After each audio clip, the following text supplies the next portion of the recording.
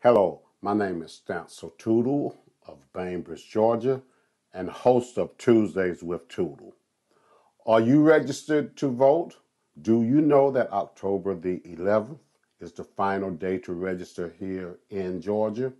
And if you want to have your voice counted, you need to go check out my voter page and make sure that you are registered.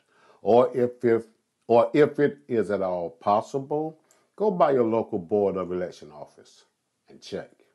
Remember, it's your right, but it's also your responsibility to make sure that you are registered.